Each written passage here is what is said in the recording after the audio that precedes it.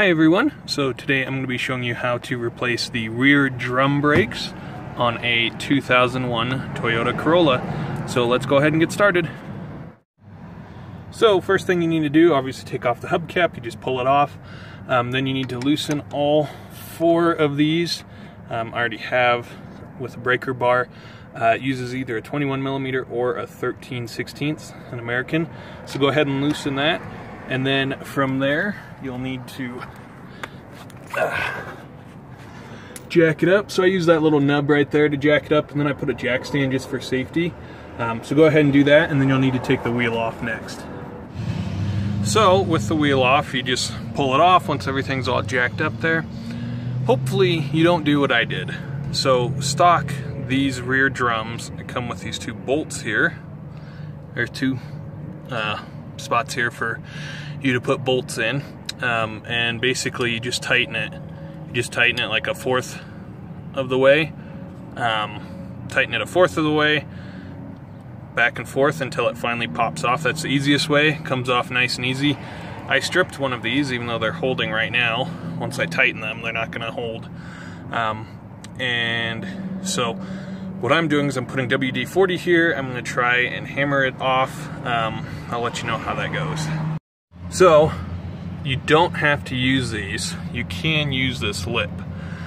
What I did was I took a claw, the claw part of the hammer here, and I just put it on the lip and I pulled as hard as I could and then rotated about an inch, pulled, rotated, pulled, rotated. You'll hear it start to pop. Sounds very scary. Sounds like something's happening with the car, like it might fall off the jack, but that's actually this popping through. What the real, whoopsie daisy, What the real issue here is, is that you can see, oh, if I can get it to focus. I'm sorry, it's not focusing. Maybe I'm too close.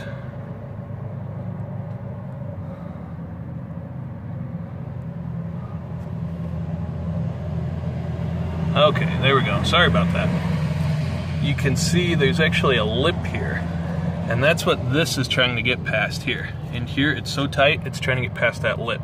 That's what you're pulling it past. So I spent probably a good half an hour, 45 minutes taking the stupid thing. I was taking a hammer to it, trying to hammer it from behind. It wasn't working. Um, that's the only thing that worked was using using the claw part of the hammer here and just pulling on that lip and then rotating an inch, pulling, rotating an inch, pulling. And you really got to put some back muscle into it. So now with this off, I'm going to give you a real quick look. You can see I don't have a lot of meat on my brake. Um, I could still let it go, but I feel like the brakes aren't very strong. I don't feel like I have a lot of stopping power, so I, I wanted to replace these. Um, so I'm going to give you kind of a quick look of here's, this is the rear passenger, obviously the rear because it's a drum. Give you a quick look of what everything looks like here so that when you're doing this, and myself, this is a really good reference for what it looked like before you tore it all apart. Alright, so I can't recommend this enough. You need one of these tools. It's like $10 at an auto parts store.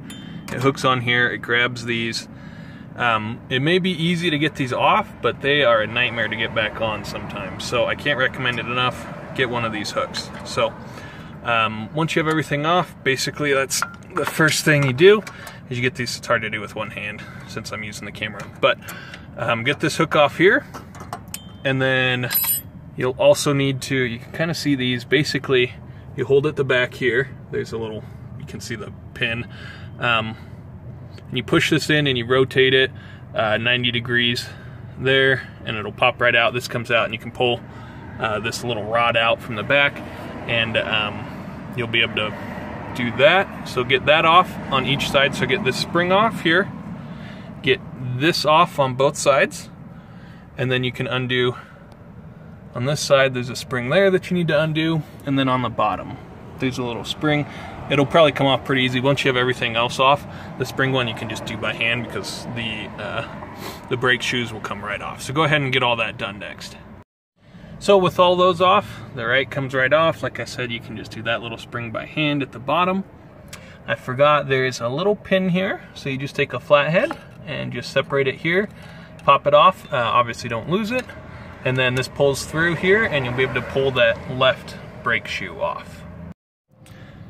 So uh, be careful, it takes a little bit of work to get this little pin off. Um, be careful, don't lose it or the washer that, that was behind it. Um, you just kind of got to work it with a flathead screwdriver.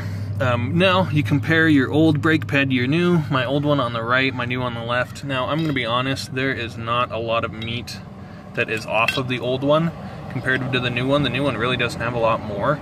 Um, the main reason that I'm even going through with this is because brake pads aren't that expensive, as well as you can kind of see it hasn't worn properly. You can see kind of right all through here is where it's wearing really nothing here. Um, even though there isn't a lot off there, it was already a giant hassle to get in here because um, I wanted to check to see because my brakes weren't uh, working super well. I felt like they were slipping a little more than normal, and so I wanted to check check all my brake pads. My fronts obviously needed it, so I wanted to check the rears. Um, I already got in here. They're not that expensive. I might as well just replace them while I'm in here. Um, so just make sure that everything checks out here and um, so then next you're going to go ahead and put them back on. I'll show you a little trick. One of the main things is that this piece here, you can see it has these little spikes. Essentially you need to shorten this a little bit and every time that you push on the brakes there's a little lever here that twists this and extends extends this whole apparatus um, so that the brake pads push out. And so you can shorten it. I don't, my new pads are not much smaller. Um, so this really doesn't need to be shortened much. If there's a giant difference between the two, you might want to shorten it a little more. Um, and then every time that you press on it, it'll extend, press on the brakes, it'll extend until they're where they need to be. So go ahead and shorten this before you put everything back together. So here's the final look, put everything back in. Just a quick view for you again on where everything goes. Don't forget that little spring there. And then the spring up here. So anyways, that is how you replace the drum brakes on a 2001 Toyota Corolla. So hopefully this was helpful and thanks for watching.